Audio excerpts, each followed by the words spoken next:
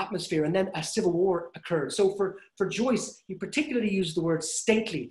It's not quite a state, but it's getting there. And the final word of the book is yes. And that's where we come to subversive joy.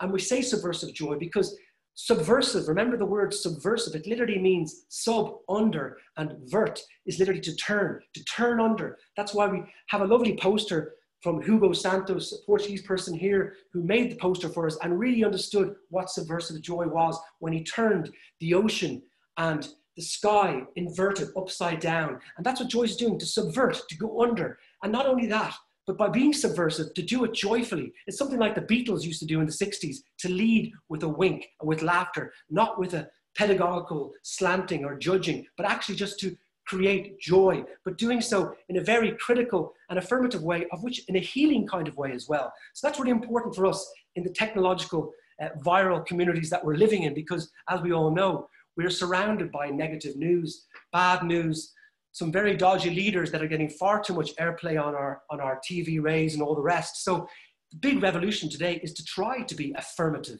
Of course, in an unstable, in an unstable way. James Joyce is no, you know, naive person. He knows the trick and the difficulty of being a fully fledged human. So that's the real thing. And joy, what is joy? Joy for James Joyce throughout this book, via Leopold Bloom, is to be present to oneself. Literally, to be present. And to be present is to live in the actual today, which is a very difficult thing to do, given today we're all obsessed with things like meditation and yoga to try to get us into the present, because it's becoming increasingly difficult in these technological, uh, viral worlds that we live in. And to be present is to be close to reality. And what is reality? Well, the only real perfection for Joyce is reality. Perfection is reality. Perfection is understanding and embracing and recognizing all our contaminations. So, coming to the very end of that, thinking of joy and presence and reality. That's what love is as well for Joyce. Love is being present. Love is being attentive. And that's what Leopold Bloom tries to do while everyone else is thinking about the past in nostalgia or thinking about the future with anxiety. But Leopold Bloom was the one who was really focusing in and honing in on the present. And again, speaking of contamination, it's that thing. He's both the artist and the scientist. He sees the world with the eyes of an artist and with the eyes of a scientist. So with further ado, or without further ado, we have lots of readings to go through, and it's best to let the actors and the words of Joyce come through to fruition. The first reading is, is when we are going to dive straight into the middle of the day. It's three o'clock in the afternoon. Leopold Bloom is feeling peckish. His food you know, is needed. Remember, this is a book called The Epic of the Human Body. And I think I could go off on lots of digressions, but it's important. Why is it an epic of the human body? Again, returning to when it was written. For Joyce, it seemed to be a craving for killing, a craving for heroic people that were involved in wars or were involved in conquest or involved in the spirit or even the mind. The great philosophers spoke so much of the capacities of the intellect. But Joyce said, Where is the body? Instead of what Goethe said in Faust, I am the spirit that perpetually negates. Joyce said, No, my book is the flesh that perpetually affirms. So that's exactly what it is. And for him, there was no dichotomy or duality between mind and body. They were all interacted with each other. The body never lies. And it's that what really reveals us. So in the first, in the first now reading, we're going to go to Leopold Bloom, who's going to be the first person to have a voice of these readers, who's three o'clock in the afternoon. He's eating, and it's the tedium of the day. He's feeling kind of lethargic. He's been to a funeral already. Um, he knows that his wife is actually about to have another affair with somebody during the day. So he's not feeling great about that either. But he sits there and there's buzz, flies buzzing around, and we recognize then the stream of consciousness that comes in. And even in the kind of gloomy part of the day, in the 16th of June in Dublin, he still manages to go to a beautiful moment and revealing the spell of the sensuous, the idea of smelling, tasting, feeling, kissing, memory, the five senses of which we are badly lacking in these online technologies today, which we only have the vision and the hearing right now, which are crucial for the eye of the religious saint and for the poet. But as a human being, we for sure need all five senses. So let me welcome Leopold Bloom for the first reading at three o'clock in the afternoon. Oh, wonder! Cool soft with ointments her hand touched me, caressed. her eyes upon me did not turn away. Ravished over her I'd lay, full lips full open, kissed her mouth. Yum! Mm. Softly she gave me in my mouth the seed cake warm and chewed. Mawkish pulp her mouth had mumbled sweet sour of her spittle. Joy! I ate it. Joy! Young life, her lips that gave me pouting, soft, warm, sticky gum jelly lips. Flowers her eyes were. Take me, willing eyes. Pebbles fell. She lay still. A goat. No one high on Ben Howth rhododendrons, a nanny goat walking sure-footed, dropping currants. Screened under fern, she laughed, warm-folded. Wildly I lay on her, kissed her, eyes, her lips, her stretched neck beaten. Woman's breasts full in her blouse of nun's veiling, fat nipples upright, hot I tongued her. She kissed me. I was kissed. All yielding, she tossed my hair. Kissed? She kissed me. Oh, beauty, it curves. Curves are beauty. Shapely goddesses, Venus, Juno, curves the world admires. Thank you, Leopold. Leopold Bloom. Isn't bloom a great word? Blooming, zooming into the blooming. Well, that was Leopold Bloom thinking about his first kiss with his lover and wife, Molly Bloom. Now we're going to jump forward into very late at night, the Circe episode. And remember, for people that might have read a previous book of Joyce's before going into Ulysses, the portrait of the artist as a young man, that book ends with possibly one of the, the greatest kind of declarations by an artist of all time when he says, Stephen Dedalus, that is, says at the end of that book, Welcome, O life. I go to encounter for the millionth time the un- to forge in the smithy of my soul the uncreated conscience of my race. There's so much in there. Welcome, O life.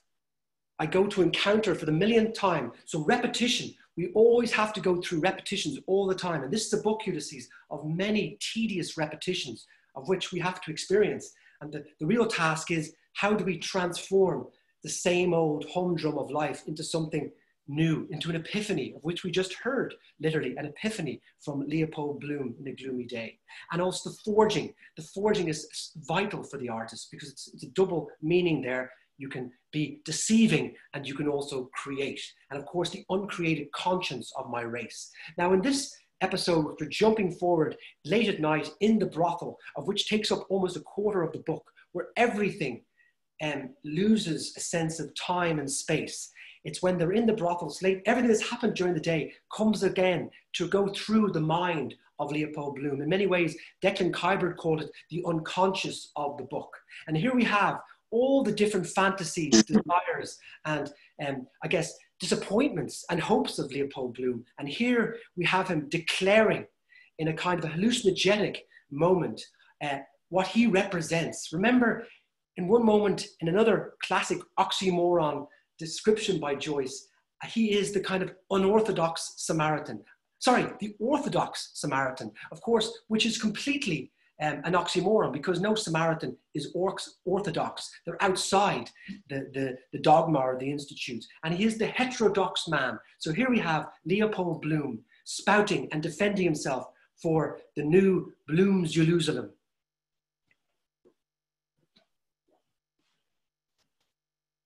Gentlemen of the jury, let me explain. I am a man misunderstood. I am being made a scapegoat of I am a respectable married man without a stain on my character. I live in Eccles Street. My wife, oh, I am the daughter of a most distinguished commander, a gallant, upstanding gentleman, what do you call him? Major General Brian Tweedy. one of Britain's fighting men who helped to win our battles, got his majority for the heroic defense of Rorke's Drift. I stand for the reform of municipal morals and the plain Ten Commandments, new worlds for old, union of all, Jew, Muslim, and Gentile, three acres and a cow for all children of nature, saloon motor hearses, compulsory manual labor for all, all parks open to the public day and night, electric dish, dish scrubbers, tuberculosis, lunacy, war, and mendicancy must now cease. General amnesty, weekly carnival with masked license, bonuses for all, Esperanto, the universal language, with universal brotherhood. No more patriotism of bar sponges and dropsical imposters. Free money, free rent, free love, and a free lay church in a free lay state. Okay, ladies and gentlemen, we're getting deep into the apocalyptic and the psychedelic. I'm glad I have some toys in the attic. I guess the attic of my apartment is maybe revealing the unconscious of my own soul, but that's another matter. Thank you, Leopold Bloom, for declaring uh, your wonderful um, depiction for mankind. Later on in that book, he's, he's declared as the, the new womanly man. And as he gives that speech, there is a response from various voices from so called friends, prostitutes, other figures who go on to attack him from all sides and revealing this kind of very judgmental, uh, very attacking, hysterical, all to do with chatter. There's a great word in the Portuguese language for, for gossip, fofoca. It came over across the Atlantic from Brazil. And I think that really sums up the great idea of what it is to be a gossip, a fofoca. And this reveals this of all the different suspicions and, you know, distrust amongst people. And we have the, the hysterical women describing him eh, against this idea. And here we have right now, can you please welcome from the psychedelic apocalyptic brothel, one of the women. You funny ass, you. You're too beastly awfully weird for words. Arrest him, constable. He lauded almost extravagantly my nether extremities, my swelling calves in silk holes drawn up to the limit, and eulogized my other hidden treasures in priceless lace, which he said he could conjure up. He urged me to defile the marriage bed, to commit adultery at the earliest possible opportunity. Leopold Bloom of no fixed abode is a well-known dynamitard, forger, bigamist, bawd, and cuckold, and a public nuisance to the citizens of Dublin.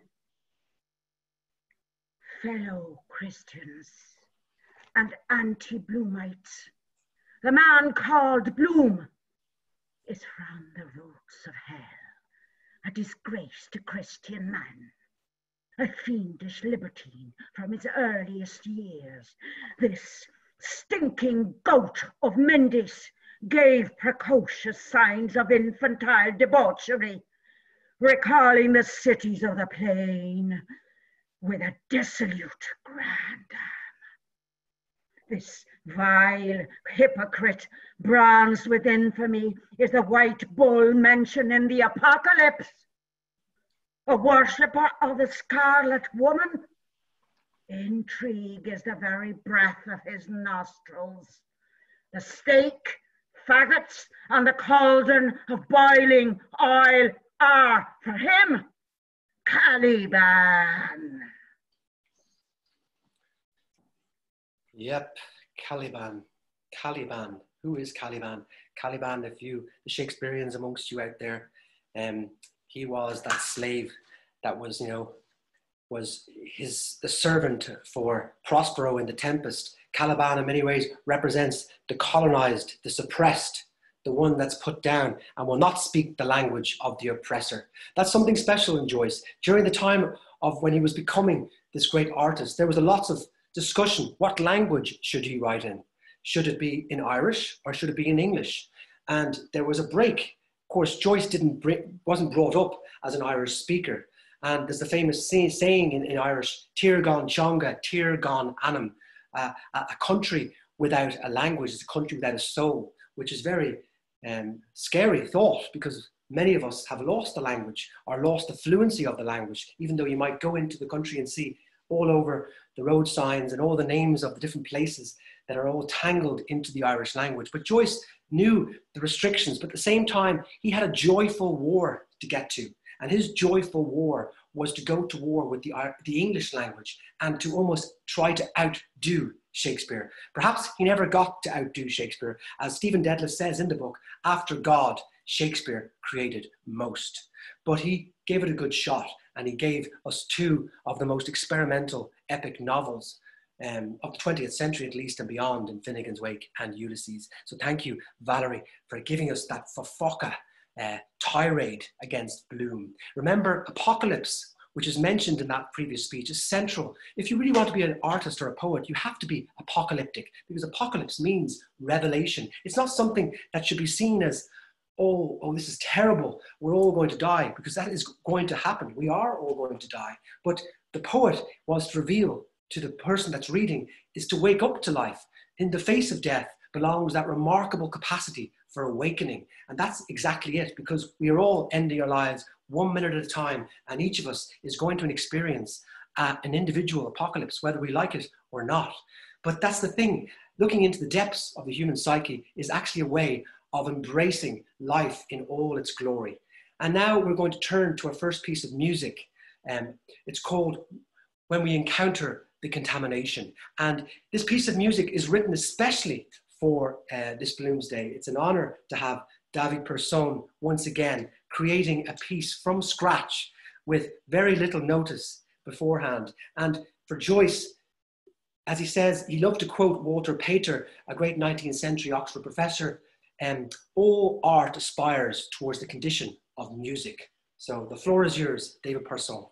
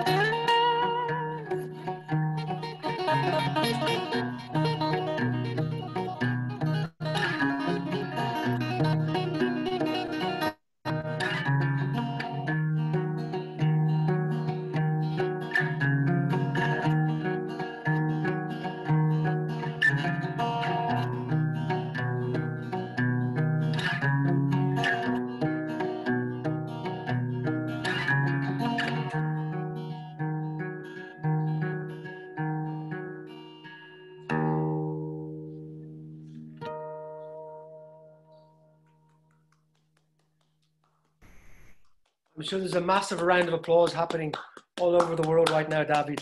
Unfortunately, we can't have all microphones on because I think that a lot of. There we go. There's that's, some claps happening. Hope some of you are still with us. Um, thank you, David, for a contamination, instrumental, uh, creative, out of the void. Speaking of the void, one of the great lines of Ulysses, deep in the penultimate episode, is ineluctably constructed upon the incertitude of the void. I'll say that again ineluctably constructed upon the incertitude of the void. Try and use that line in a bar. We say, How are you feeling? Well, I'm ineluctably constructed upon the incertitude of the void. Oh, want a drink? Sure. Uh, that's a line I always used back in the past, but uh, it's getting more and more difficult. But anyway, that's very important. Ineluctably, inescapably, um, constructed, something that we construct out of nothing. So literally, Joyce is trying to enter into the void to create something out of nothing. And I think David Persson um, gave us a good example of that. Now we're going to jump into the Cyclops episode, which is a great, perhaps the funniest episode in the, the whole novel. At the same time, one of the most sinister episodes in the whole novel. And again, showing that kind of ambiguity in Joyce, showing on one level the great humor that is at the heart of James Joyce's art. And that's something that Again, returning to subversive joy. At one moment in the book, Stephen Dedalus thinks to himself, and the narrator says, he laughed to free his mind from his mind's bondage. He laughed to free his mind from his mind's bondage. And laughter can often take us out of many a tight spot. And Joyce's laughter is resounding throughout the whole of Ulysses. But in this case, in Cyclops, we have different kinds of laughter, a sinister, mocking laughter towards Leopold Bloom, who we see him receiving anti Semitism and not being accepted in a amongst, amongst a, bunch of men all in this bar, five o'clock in the afternoon, um, in, on Little Britain Street, which once was called, showing the irony of the, the name of the street and all these nationalists drinking their heads off and talking about the civilization um, and all the, darkness and badness, what has happened to them. But at the same time, they're almost creating a new, dangerous, bigoted idea of what a state is. Well, Joyce, or I should say Leopold Bloom, is the only moment in the book where we see him get a bit angry. And he's angry because he sees himself being put into a tight corner and being told off. And he defends the idea of love. So, but let's just hear a bit of the great dialogue that goes on between Dubliners and a very miscommunication because during the morning there was a funeral. Paddy Dignam had died, and which Leopold Bloom had gone to. And later on in the day, they're talking about this, and it shows this misinformation that goes on between humans, and also the great joy and humor, followed by Joyce's own turning of the actual text. So this episode has both this great colloquial conversation between Dubliners and then turns to these mock heroic descriptions in amazing English prose. So, welcome the dialogue of Dignam Dead by Mick Greer. How's Willie Murray these times, Alf? says Joe. Oh, I don't know, says Alf. I saw him just now in Capel Street with, with Paddy Dignam, uh, only I was running after. You what? says Joe. With who? With Dignam, says Alf. Is it Paddy? says Joe. Yes. Why? Don't you know he's dead? Paddy Dignam dead? Aye. Well, sure, I'm after seeing him not five minutes ago, as plain as a pikestaff. Ah, you saw his ghost then, God between us and harm. What? Good Christ, only, only five? And William Murray with them, the two of them over there near, um, near what you call him. What? What? Dignam dead? Ah, dead. He's no more dead than you are. Maybe so. They took the liberty of burying him this morning anyhow. Paddy. Aye. He paid the debt in nature. God be merciful to him. Good Christ. Begob, he was what you might call flabbergasted.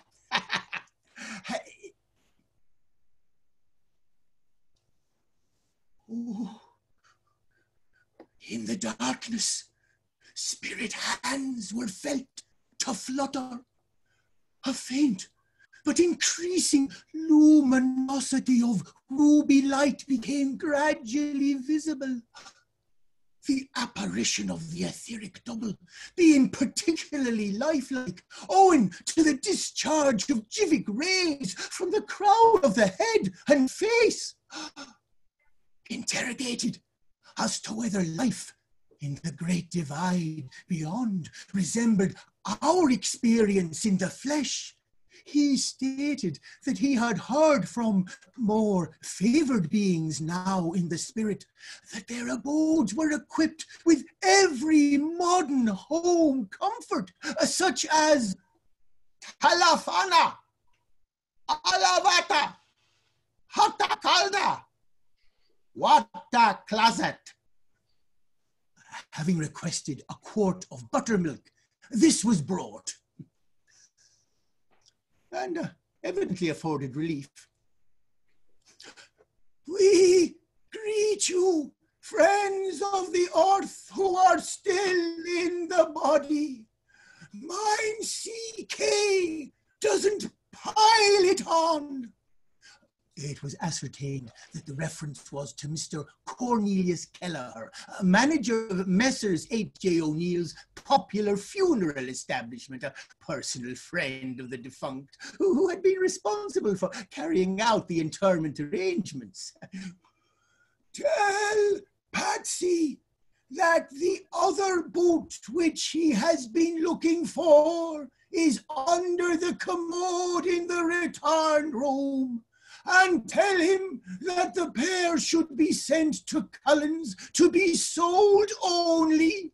As the heels are still good, tell him. Uh, assurances were given that the matter would be attended to, and it was intimated that this had given satisfaction. He is gone from mortal haunts O Dignam, son of our morning! Fleet was his foot on the bracken, Patrick of the beamy brow. Wail, Banba, with your wind, and wail, O oceans, with your whirl,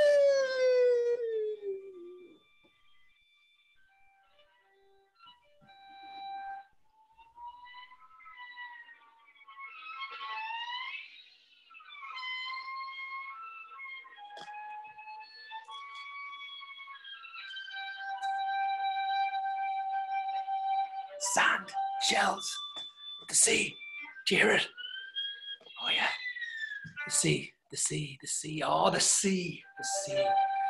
Molly has been quite absent during this um, Bloomsday, I'm afraid. We've done something blasphemous, not letting her speak too much. Every year she has a lot to say, and she finishes off her own great monologue that closes the book with, Ah, the sea, the sea, the crimson sea. Well, we're going to jump back to the third episode of the book called the Proteus episode.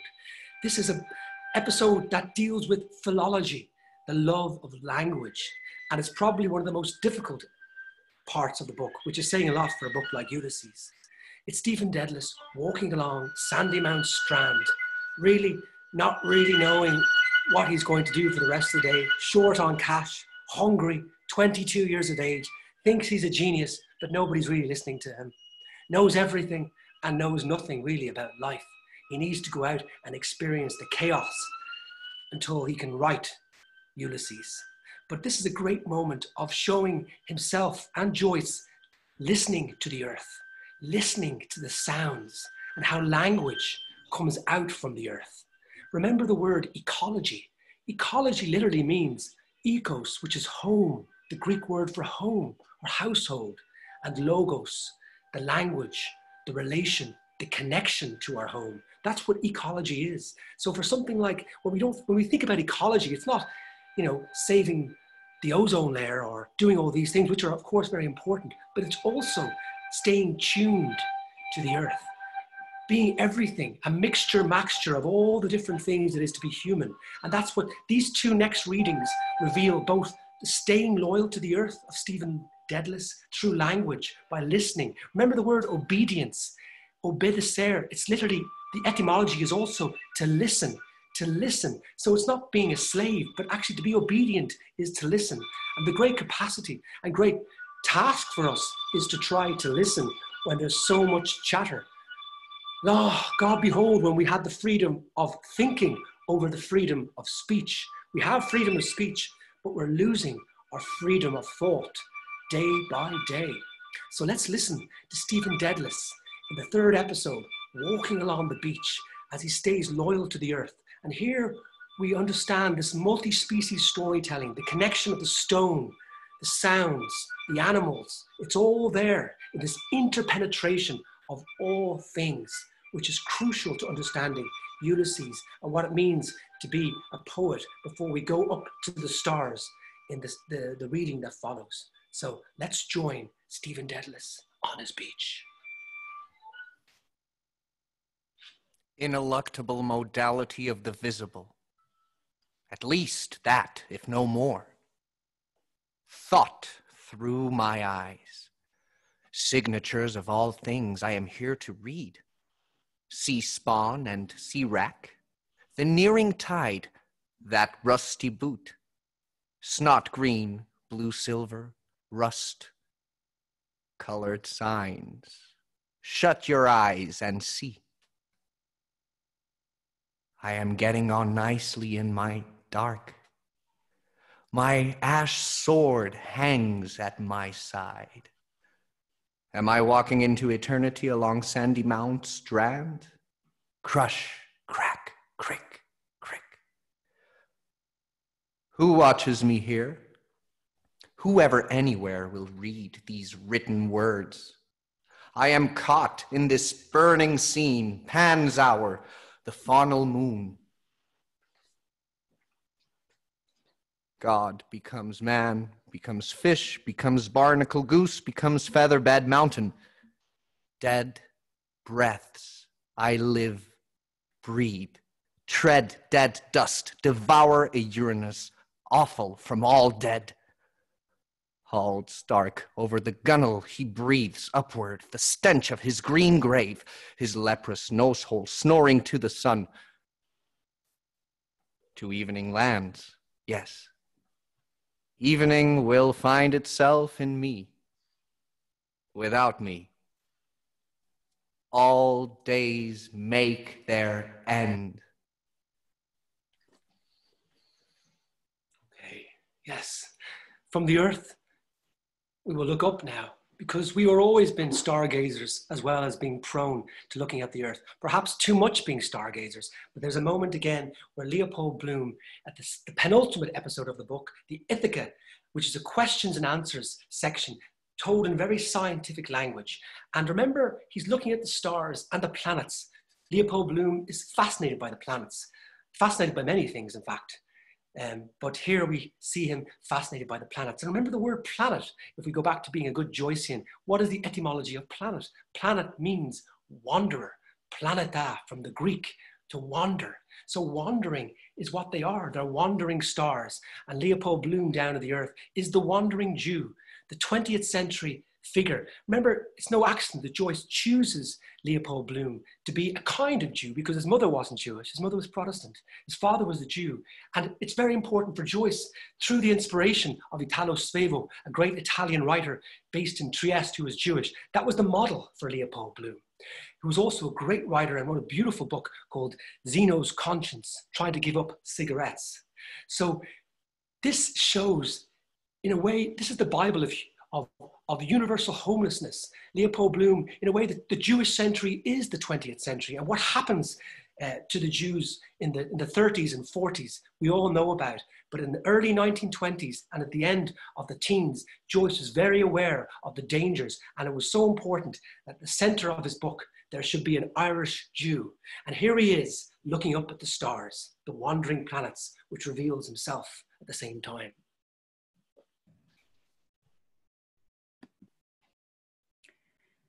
The heaven tree of stars hung with humid night blue fruit of our system plunging towards the constellation of Hercules, of the parallax of parallactic drift of so-called fixed stars. In reality, ever-moving wanderers from immeasurably remote eons to infinitely remote futures in comparison with which the years three score and ten of allotted human life formed a parenthesis of infinitesimal brevity. Ever he would wander, self compelled, to the extreme limit of his cometary orbit, beyond the fixed stars and variable suns and telescopic planets, astronomical waifs and strays, to the extreme boundary of space, passing from land to land, among peoples, amid events. Somewhere, imperceptibly, he would hear, and somehow, reluctantly, sun compelled, obey the summons of recall. Whence, disappearing from the constellation of the Northern Crown, he would somehow reappear, reborn above Delta in the constellation of Cassiopeia, and after incalculable eons of peregrination, return an estranged avenger, a wreaker of justice on malefactors, a dark crusader, a sleeper awakened with financial resources by supposition, surpassing those of Rothschild or the Silver King.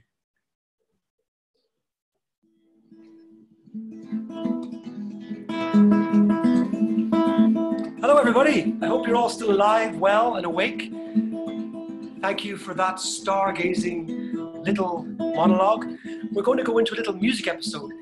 Point in the book, Stephen Dedalus goes into the concert room of the National Concert Hall, and this is an opportunity for Joyce to turn language into a cacophony of sounds and music.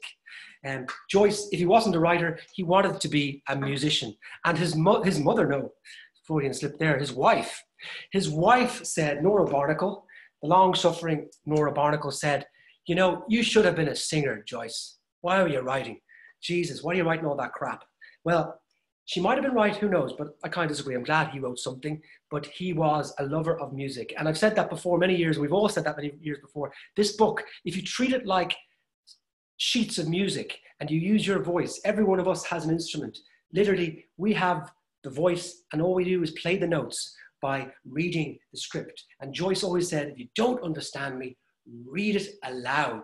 It has to be heard aloud. He comes from an oral tradition and he wanted to make his book come to life. And that especially goes for Finnegans Wake, which is unreadable on many levels. But if you just read it aloud in sections and just enjoy the madness and sound of language, then you're getting somewhere. So let's hear the music scene and this kind of Gerard Manley Hopkins cacophony of sound amongst the barmaids.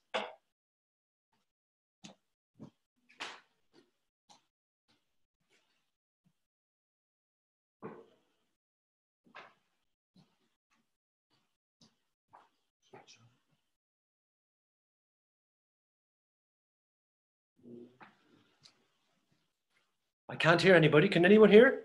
Valerie? I think you need to turn uh, your no, mic on. Turn your, turn, your, turn your mic on, Valerie.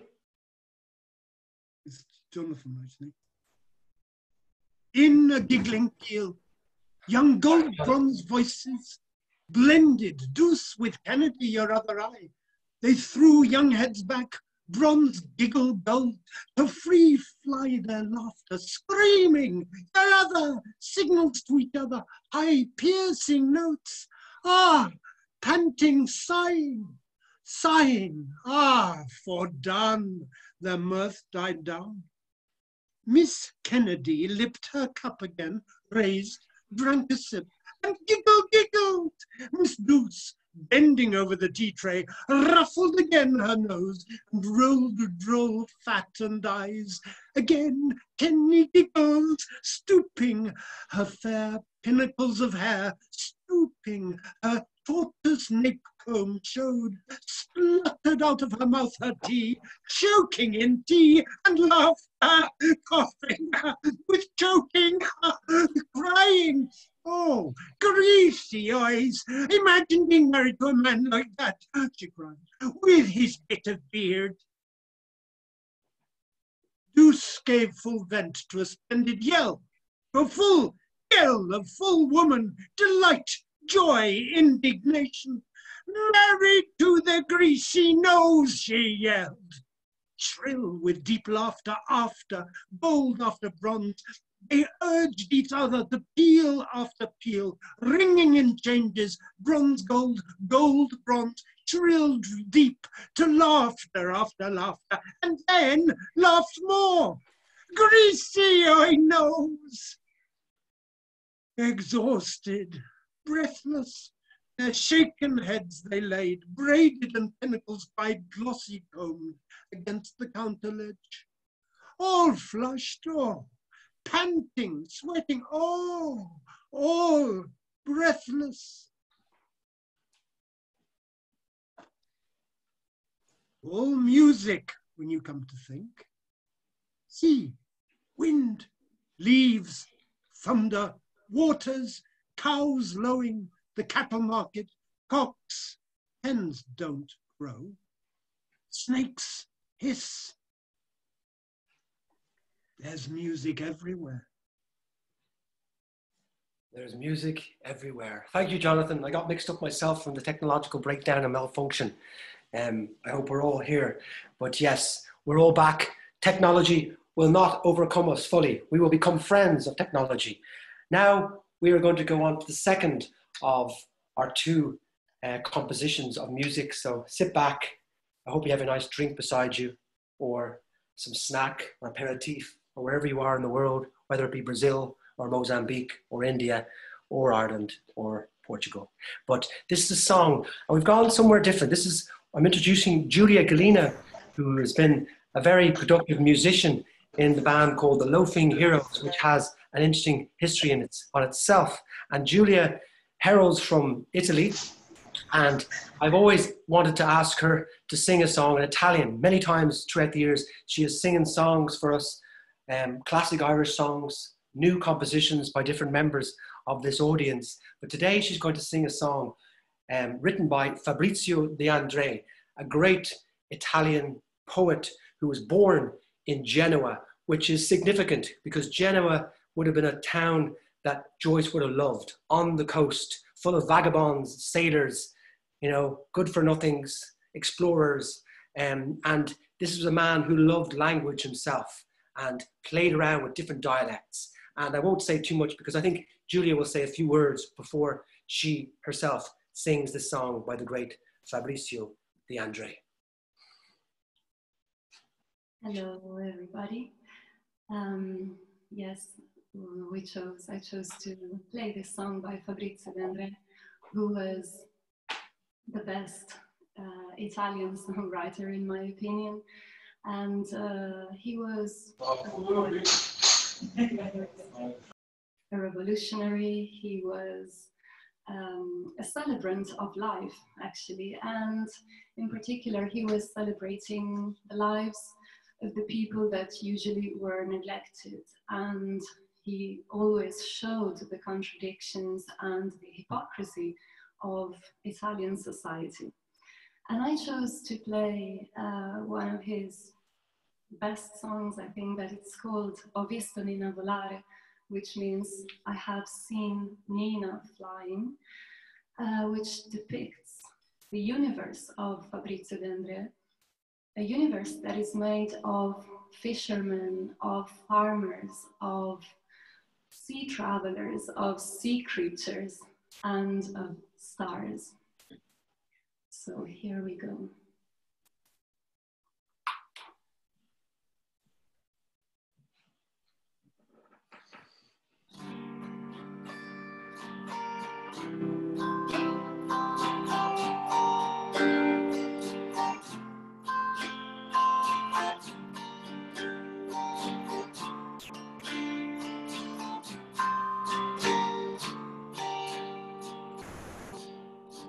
Mastica sputa da una parte neve, mastica sputa dall'altra la cera, mastica sputa prima che venga.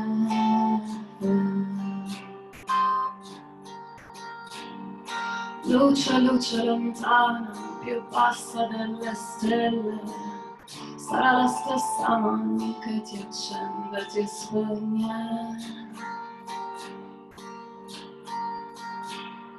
Ho visto Nina volare tra le corde dell'altalena, un giorno la prenderò come fa il vento alla schiena, luce, luce lontana, più bassa delle stelle, quale sarà la mano che ti accende e ti spegne?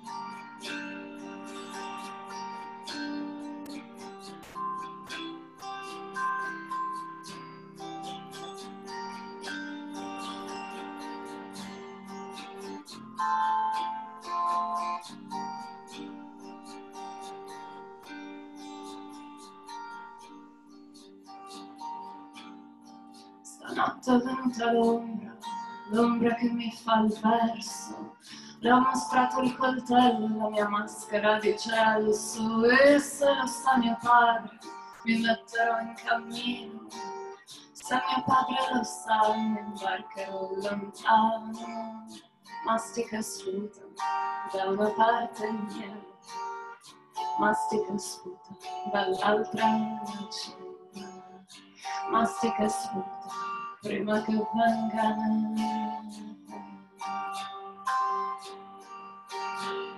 Ho visto Nina volare tra le corde dell'altalena, un giorno la prenderò come fa il vento alla schiena, luce, luce lontana che si accende e si spegne, quale sarà la mano che invoca le stelle?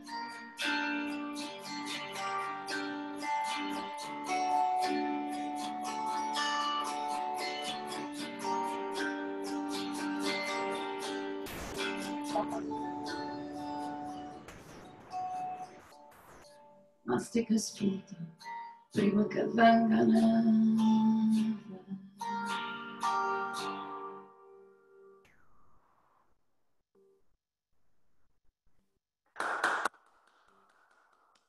round of applause and silence are allowed. Julia Galina and Fabrizio De André come together. Um, thank you so much. Beautiful. Um, and we'll go forward now from Talvez Universe não caminha a funcionar no teu. What was that? Do I hear voices? Speaking of voices, that's good I hear voices because we're going into the next scene of it's one of my favorite little passages about the Macintosh.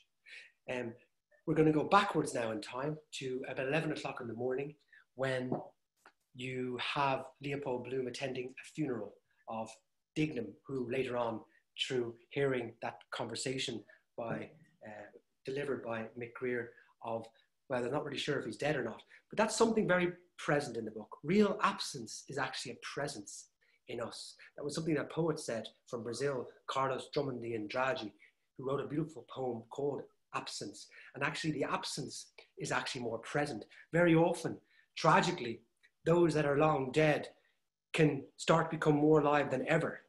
We can experience this through a broken heart, or someone we love so much that maybe we didn't think about enough when they were alive and when they died, they haunted us for the rest of our lives and became more real and more present. So, this is something that ghosts are everywhere in James Joyce's Ulysses. Ghosts in really the feeling of something through our experiences. And here we have a lovely little passage of him wondering, who is that man over there? There's one figure in the, the group of men who go to the, the graveyard and he doesn't recognize him. And there's actually, for those who are interested in this little scene, there's actually a lovely essay on this episode um, about the man in the Macintosh. And the great writer Nabokov, who wrote the, the novel Lolita, was convinced that this man in the Macintosh was actually James Joyce himself. So this book is full of mysteries, and here we have both the humor and the mystery of all the shadows that can haunt us through our lives.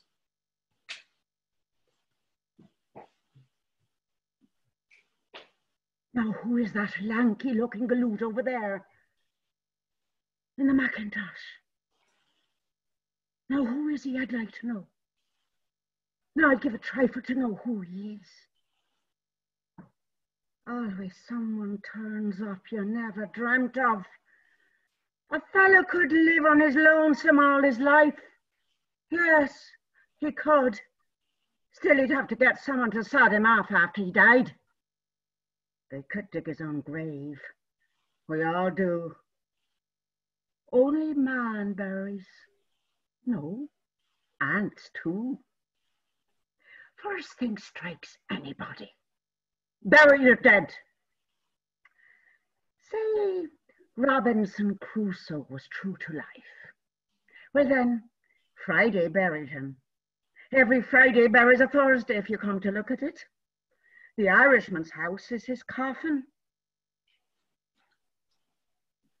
The chap in the Macintosh is 13. Death's number. Where the deuce did he pop out of? He wasn't in the chapel, that'll swear. Ah, silly superstition that about 13. If we were all suddenly somebody else. If we were all suddenly somebody else, indeed, and sometimes we can be for a while, because we all are actors, really. We're always acting, performing as humans, sometimes trying to negate where we come from or trying to get somewhere where we don't belong or trying to fit in. This happens being to be a human being. You know, the next scene is jumping straight forward into the unconscious of the book again. We're going to return to the brothel. And we picked this scene um, because it revealed the kind of evangelical hysteria that can sometimes emerge. And also, again, bringing that dichotomy and fusion of humor and sinister messages. And this is the new world now. And suddenly, Elijah appears, the great prophet from the Old Testament. But it's also an American preacher who happens to be in London during the day that Leopold Bloom hears about. And he emerges in a ghost like form in the Circe episode, as I said before earlier, the psychedelic and apocalyptic episode. When I say, use the word psychedelic, remember psychedelic in the sense that all time and space is bended, all boundaries are dissolving, and nothing is linear anymore. And that's very important for James Joyce. Everything is circular. Remember in Finnegans Wake, the first and last sentence form one sentence. Starts in mid sentence and ends in mid sentence. And really, that's the job of the poet to throw us into the middle of life. So often we are brought to the end of life or the beginning or progress and modernization. But for Joyce, the progress is in the process. The progress is in the revealing and awareness of our contamination. It's not trying to be, you know, useful or trying to be of a utility or trying to get somewhere, but rather it's always this circular commotion and pandemonia that we have. And this is a great fun episode uh, of madness. And here we have Elijah telling you how it is of the evangelicals, because they're coming, unfortunately. Join on right here. Book through to Eternity Junction, the non-stop run. Just one word more. Are you a god? Or a doggone? Hmm? Florrie Christ, Stephen Christ, Zoe Christ, Bloom Christ, Kitty Christ, Lynch Christ. It's up to you to sense that cosmic force. Have we cold feet about the cosmos? No! Be on the side of the angels. Be a prism. You have that something within the higher self. You can rub shoulders with a Jesus, a Gautama, an Ingersoll. Are you all in this vibration? I say you are. You once nobbled that congregation and a buck joyride to heaven becomes a back number. You got me? It's a life brightener, sure. The hottest stuff ever was. It's the whole pie with jam in. Oh, it's just the cutest, snappiest line out. It is immense, super sumptuous. It restores, it vibrates. I know, and I am some vibrator. Got me? That's it. You call me up by sun phone any old time. Bum boozers, save your stamps. Now then, our glory song. All join heartily in the singing. Encore. Jerusalem in your heart.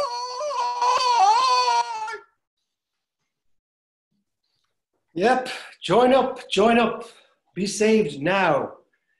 Yes, but now we have a sword, this beautiful sword from the Celtic mythology. Um, you know, thanks everyone for hanging in there. We only have two more readings to go. So hang in there. I know this is crazy. We're online. But you know, Joyce also tried to be, form the first movie theatre in Ireland. So this is a man who knew what was coming.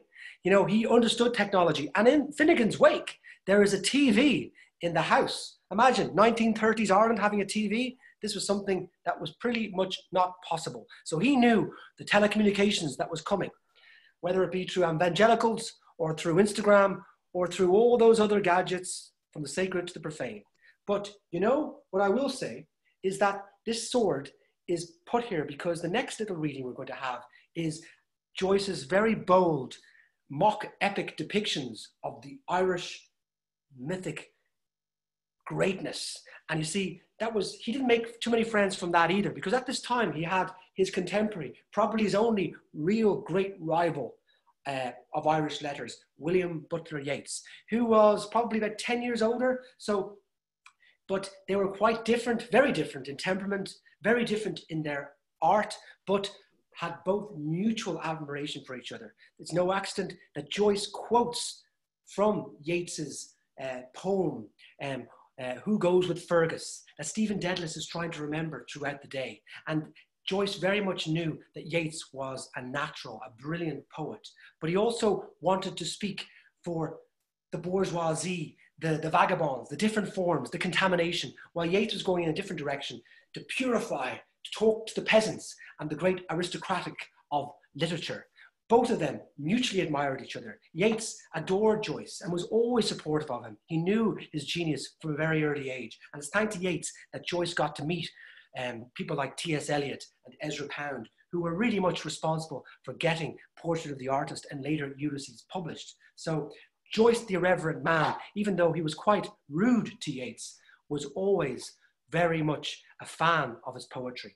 Why I'm mentioning Yeats is because this episode shows this kind of dialogue going on, the idea of the Celtic twilight and this kind of renaissance of the Irish gods, which have been lost throughout centuries. And suddenly in the 19th century, with Lady Gregory and William Butler Yeats and the Abbey Theatre, it was all brushing forward into this new nationalism was very important.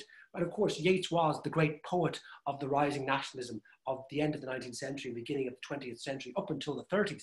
He was an extraordinary poet who never dipped. But Joyce doesn't call it the Celtic twilight. In Finnegans Wake, he calls it the Celtic toilet. So there you go. The Celtic toilet, very bold.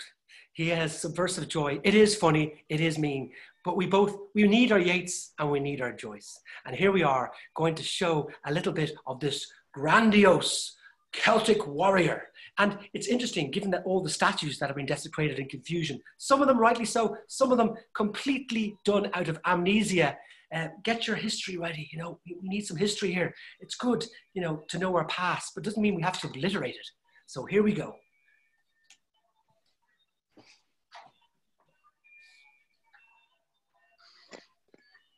Figure seated on a large boulder at the foot of a round tower was that of a broad shouldered, deep chested, strong limbed, frank eyed, red haired, freely freckled, shaggy bearded, wide mouthed, large nosed, long headed, deep voiced, bare kneed, brawny handed, hairy legged, rugged faced, sinewy armed hero.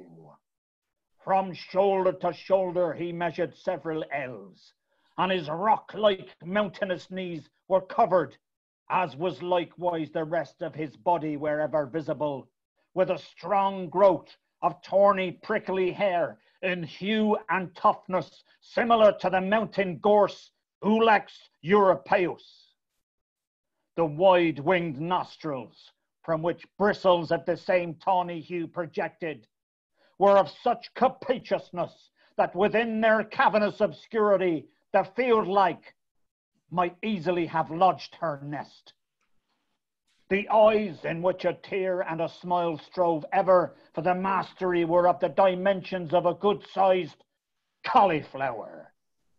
A powerful current of warm breath issued at regular intervals from the profound cavity of his mouth, while in rhythmic resonance the loud, strong hale reverberations of his formidable heart thundered rumblingly, causing the ground, the summit of the lofty tower, and the still loftier walls of the cave to vibrate and tremble. Whoa! My God, good one, Keith. That was Keith Harrell, a regular who, before I was even born, was singing out Ulysses. Wonderful. Tremble indeed from Nisa. Thank you. If I could read all the comments, I would, but I'm just trying to focus on keeping it together, keeping it together, keeping it together. So wonderful. There we have it. The great warrior. And there he is with his sunglasses and his headphones and his hat. He understands he's ready for technology, for the new warriors that are ahead of us.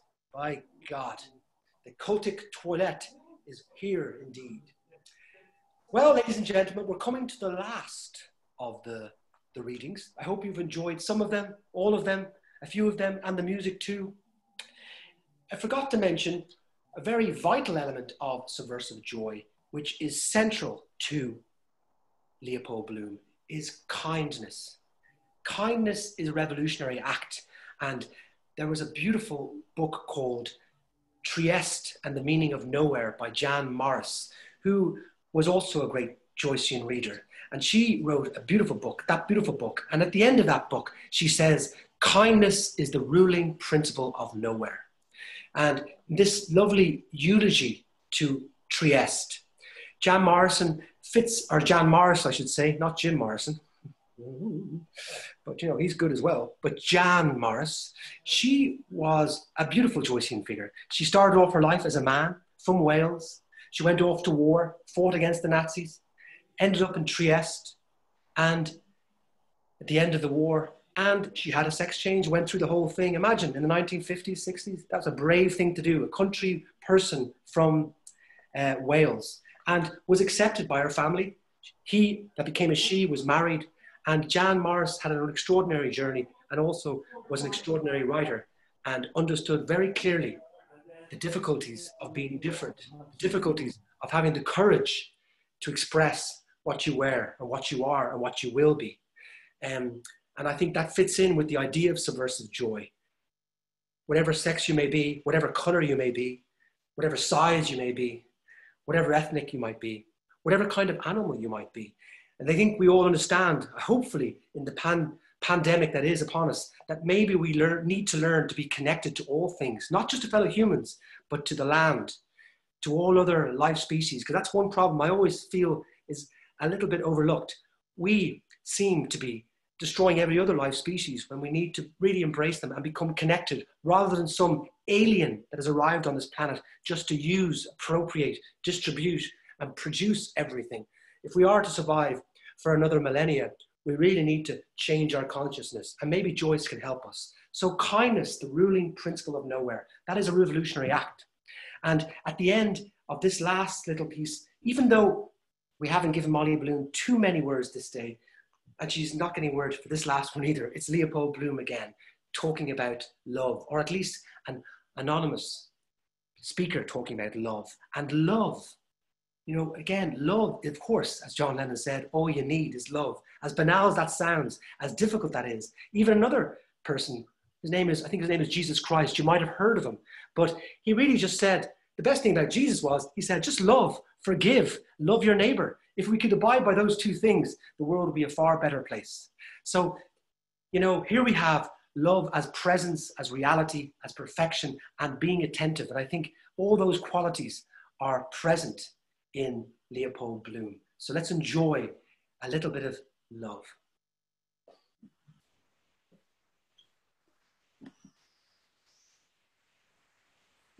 But it's no use.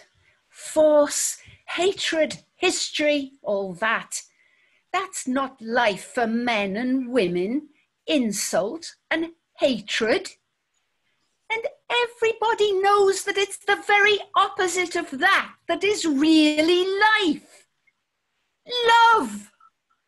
I mean, the opposite of hatred. I must go now. Love loves to love love. Nurse loves the new chemist. Constable 14A loves Mary Kelly. Gertie McDowell loves the boy that has the bicycle. MB loves a fair gentleman. Lee Chin Han lovey uppy kissy chapu chow. Jumbo the elephant loves Alice the elephant old Mr. Verschoyle with the air trumpet loves old Mrs. Verschoyle with the turned in eye. The man in the brown mackintosh loves a lady who is dead. His Majesty the King loves Her Majesty the Queen. Mrs. Norman W. Tupper loves Officer Taylor you love a certain person. And this person loves that other person because everybody loves somebody, but God loves everybody.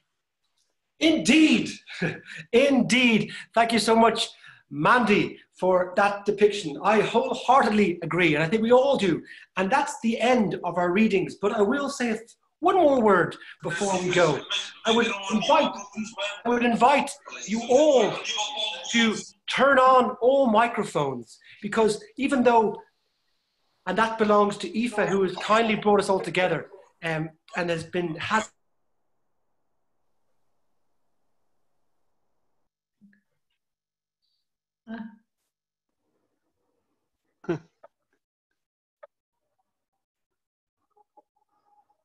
Alan, you, you're muted.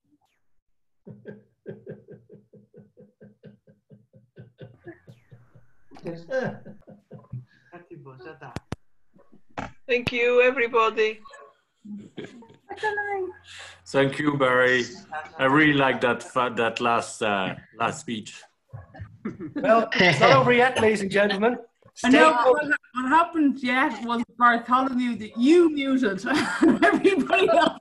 I was muted. Oh, so you couldn't hear me. Okay.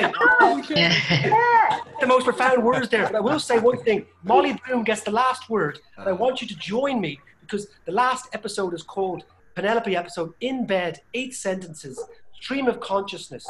And I want you to join me to say the word yes seven times because that's how it ends. Even though nothing, nothing is really reconciled in this book. Remember, he climbs into the bed of his wife who's just had sex with somebody else, and yet there is a, reconciliation happening.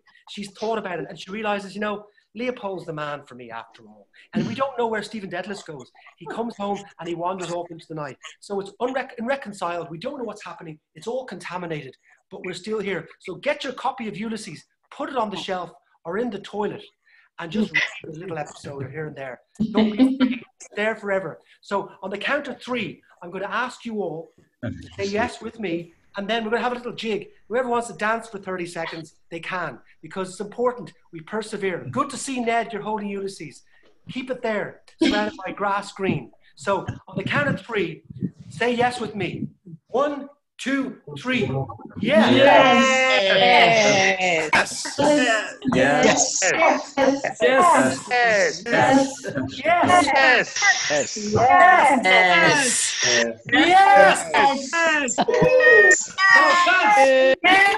Yes. Yes. Yes. Oh, Carl's good to do.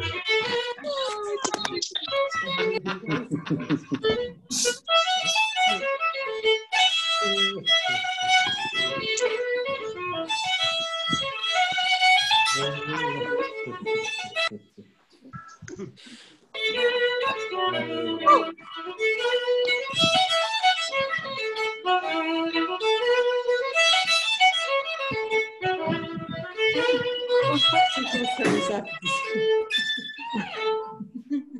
very much, ladies and gentlemen.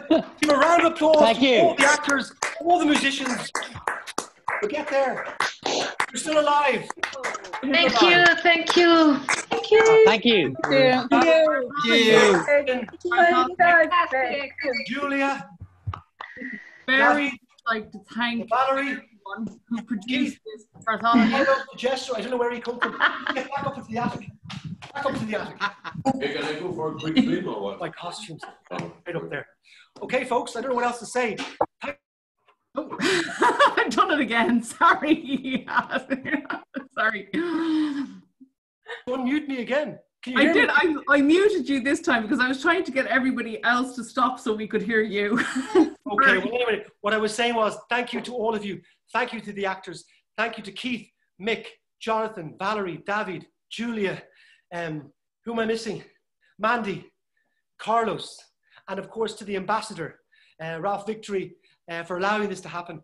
Because, you know, Subversive Joy can go in many different directions. And of course to Aoife for also hosting this. And to all of you participants. I don't know who's out there or how many of you are out there, but I hope you've a hundred for most of us. despite the um, limitations we have, because it's important to persevere and to reveal. I can feel myself sweating, which is great. It's a third sense emerging.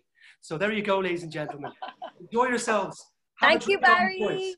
Thank you, Barry. Okay, everybody. Ciao. Thank you. Chester. Thank you, Bye. Take care. Obrigada. He's going back up to the attic soon. There you go. Obrigada. Mucho obrigado. Ciao.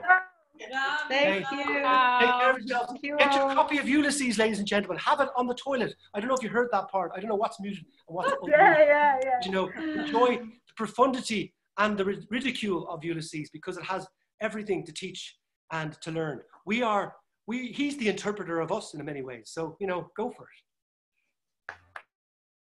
I'd like to thank you, Bartholomew, for such an amazing production and to all of the actors and the musicians. It has been astonishing. I know how difficult it is to do this when you are getting zero feedback from your audience because of the screen.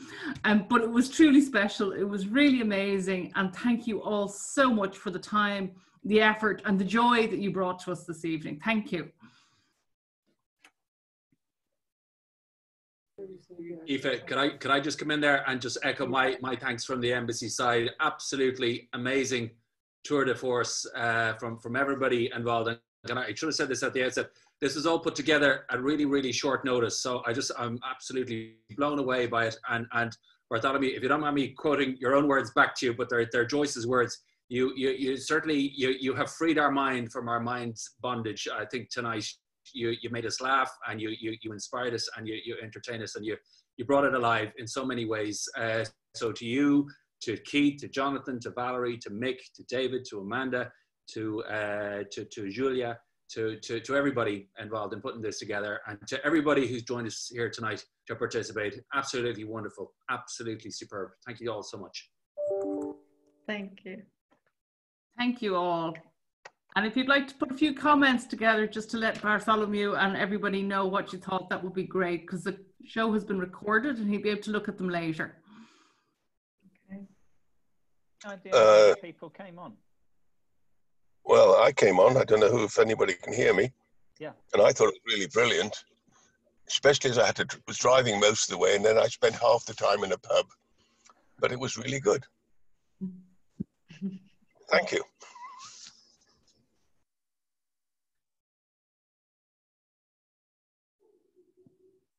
Would anybody else like to say anything? I'd like to say thank you so much for everything. An absolutely fantastic evening. Thank you so much. Really appreciate that. Thank you. Yes, we were missing so much theater and the Lisbon players and the great show you provide to us tonight. Thank you very much. Uh, It was a wonderful, wonderful show uh, to everybody involved. And Bartholomew, I don't know how you come up with a different take on Ulysses every year. Every year it's different, it's exciting, and the music, the readings, it was wonderful. Thank you all so much. Fabulous, fabulous, fabulous. Great, terrific. Thank you. If you can hear me. We can. Yeah, good. Thank you.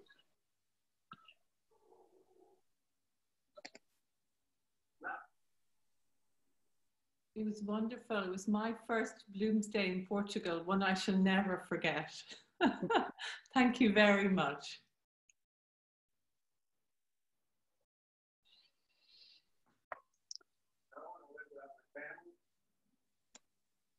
Great. Nobody else wants to say anything? No?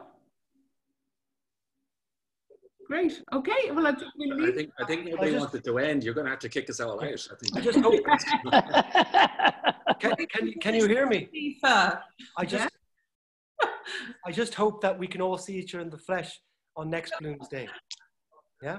So, Yes, yes, yes. But then, but then Absolutely, yes. the silver lining, Yes. of course, the silver Six lining. yeses. The silver lining is that many of you are not in in Lisbon, and so that's the good side. It was a great experience because we got an op- had an opportunity to communicate to different people all over the world, perhaps. So that's the positive side of of the, the cyber world. But I'm I'm looking forward to being in the flesh next year. Yes. We're all looking forward to going back to that as well. Abs- amen to that. And I'll, and I'll just say one more word to the actors and musicians. They were just, I gave them a call literally a week ago, uh, um, maybe, you know, just to say, we're on and this is what we're doing. And I'm, I'm so grateful for their, their just going with, into the flux and the flow and just going with it and, and, and trusting, trusting in the chaosmos. So thanks to all the team this year. Once again, it never gets tiring working with you and um, um, and someone said that you know I see a different view every time of Ulysses, but you know it's it's the book itself that opens up. When someone said once, if a monkey looks in, no genius looks out. So it's important you look in with multiple eyes as well. And these actors and musicians are wonderful at just providing suggestions. You know, different readings. They bring different aspects. They make me see. There was there was two or three readings in there I hadn't really noticed, and people. There was one or two of the actors said, oh, "Why not read this?" And suddenly it was like, "Wow." that's the beauty of Ulysses. You kind of can overlook so much, and every time you come back, is that from Ulysses? So thanks so much to the actors and musicians because they were really at the heart of it, and to and to the two musicians as well, who in such a short period of time came up with two pieces of beautiful music. And Ropey in Carlos telling him just to play a jig now, go, boom, boom, boom. So uh, it all came naturally. So thank you to all of you. Thank you all very, very much. Well, Thank you, Bartholomew, for your vision, your uh, leadership, and your creativity. Um, you you allow us to create the things that we do. So thank you. So well done, absolutely everybody. And we look forward to, as you say, Bartholomew in person next year. So this has been recorded and I will share it on the Ireland Portugal Business Network site. And obviously, Bartholomew, you can share it on Facebook or wherever you feel most appropriate as well. Um, but for tonight, I'm going to thank Ambassador Ralph Victory for very kindly sponsoring this event. It was the pleasure of the Ireland Portugal Business Network and the Irish Association to be able to host this uh, for your pleasure and your entertainment. And once again, thanks to Bartholomew and all of the actors and the musicians who really, really, really excelled themselves this evening in very difficult circumstances and extremely short notice. Thank you all. Thank Good you. Good night. Good night. Iwa. Night, bye. Ciao. Boa noite, Ian. I'd, I'd like to hope that one day you might bring it up to uh, Dominio, to Vila Verde, where I am. We're a bit out in the sticks here, but it's worth coming. we'll, ha- we'll have to make a week of it. Doomsday tour. Okay, thank you, everybody. Good Thank night. you, Volpe. Thank night. you, Good night. Hello.